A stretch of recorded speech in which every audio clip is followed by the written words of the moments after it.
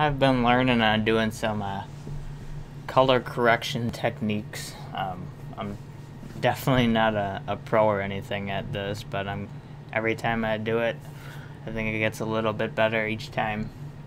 Um, pretty much, they got the two images here. Ignore the left one; that's really nothing. It's the right one that we're working with. Um, that is uh, kind of before any any correction at all is applied.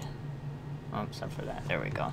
That's before anything is applied to it, and that's pretty much right what it is out of the, the GoPro camera, or not GoPro, the DJI Phantom 3 Pro camera. Um, that's the 4K footage. It's pretty dark at, at this time at night, as you can see.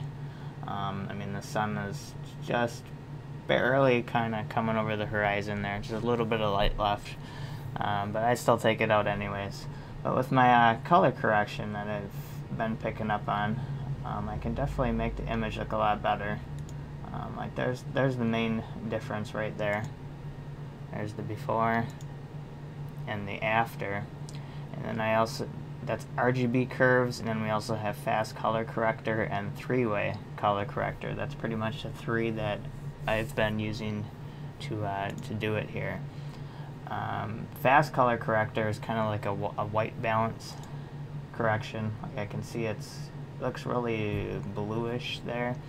And then after I apply that, I think it just looks a lot more more natural there. And then we got three-way color corrector. I kind of used also to kind of apply kind of a different overall feel to it. Um, kind of like your more cinematic feel is going your shadows are going to be more towards the blue and your midtones are going to be towards the orange. At least that's what I, I think anyways. Um, so I apply that a little bit so that changes the, the overall appearance as well. Um, so that's pretty much all I use that one for is I adjust the master and the midtones. I don't touch the highlights. Just leave that as is. Um, the fast color correction is a white balance.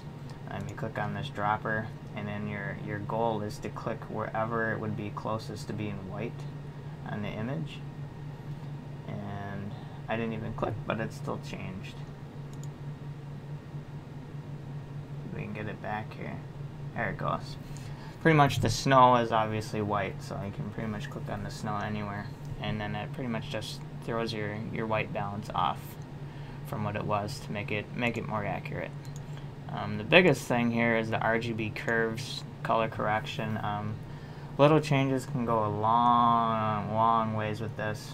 And in conjunction with that, you use um, like your YC waveform and your RGB parade. Them are the two that, that I look at when I'm doing this. Um, the waveform, the goal is to get your, your low ends, your blacks, your shadows, at pretty much as close to zero as possible without going way over because then you just lose all detail and pretty much just crush them shadows. Um, it looks like I'm pretty much just touching the zero. It's kind of even hard for me to see because on the monitor I can just barely see a little bit of blue touching the zero. But I know on the recorded video that I play back I can see it. It's kind of weird. Um, that's another reason because you don't have color calibrated monitors. It it may look good for you and it may not look good for somebody else. Um, so this is kind of a, a, good way of of knowing knowing where you're at. Um, and then you also use the high end, which I have brought way up by default. It, it's just going to be a straight line from corner to corner. And you see that dropping down here, boom, way down it goes, and then that's the image. Way darker. Um, I'll bring it back to where it was. It brings brings this back up. Um, this is your left side of your image. This is your right side of your image. Um, and the reason why this is so high is because that's right like where the sunlight is coming through. Um, so that I am blowing out, but I don't really have much of a choice. Otherwise, the rest of the image is going to be pretty dark. Um, there are some more advanced ways where you can actually like put a box around here and adjust this separately, but I'm not not quite to to that point yet. Um, so I kind of take the happy medium. I'll bring this up to about 90 and then just leave the rest as is. Otherwise, the whole sky pretty much will get just destroyed from here on over. I'm on a little bit left there. Um, I mean, I still think it looks a lot, lot better. Um, another one is the RGB Parade. Um, this one, your goal, I guess, would be to kind of make them match as close as possible. It it'll never happen because they are. I mean, they're totally different color spectrums. But like, if you reds way up here and your greens way down here, you kind of want to generally get them in the same vicinity.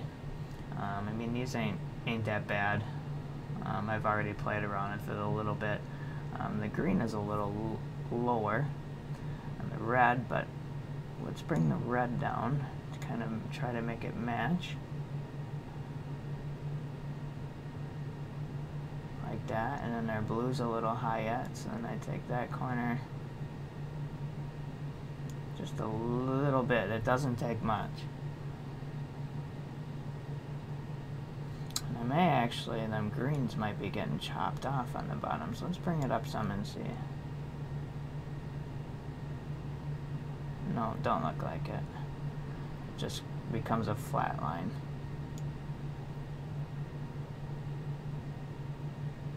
that back. And then our blue, just a hair more, I think.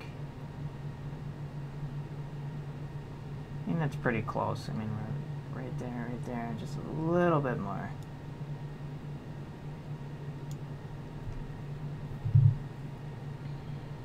There we go. I think that's pretty good. And then the tops are pretty similar, I think, as well, because um, I've already applied a little curve here. If you click in the middle, it'll add a new point, and you can kind of do your midtones as well, because the blue is actually way off, but I got it much, much closer. Um, and then we go back to the YC waveform and kind of check that, because when you're moving them around, it can affect these. But I just see a little here and there. I think we're pretty good there. And then we got some 90s peaks. I don't think them were there before. But yeah, I think that looks pretty good. Mean, compared to out of the camera, we turn that off, boom. I mean, it's, it's a night and day difference, I think. And then I use a, um, a PSD file here from in Photoshop. And if I turn that on, you'll see that that sunset kind of a lot more pronounced in the part that you can see at least that's not blown out off, and there's it on. Now that is, is a, a PSD file, a gradient. Um, this is 4K, so the image size is 3840 by 2160. And then I just make a just a slight, slight gradient. I don't go very far down because I found even going a little farther, it would discolor part of the image that you wouldn't want it to. I guess it all just depends on how much how much sky you have in your image. If it, half of the image is your sky, well then you're going to want a, a, bigger gradient. Um, you can do the same thing in the middle of the day when it's nice and sunny and blue. Well then you would use a blue gradient. And then you just simply take that PSD file, drag it on the timeline over what you want, want it to appear on. And then under opacity here, you want to set it to overlay. And I think it looks pretty cool.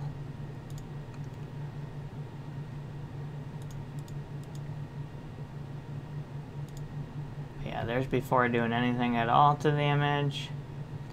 Turn the sunset one on, and then turn my three corrections on, and then that's after. I think that looks a lot, lot, lot better than it does out of the camera. I'm still pretty newbie at it, but I figured I'd just share a share a little video with you guys.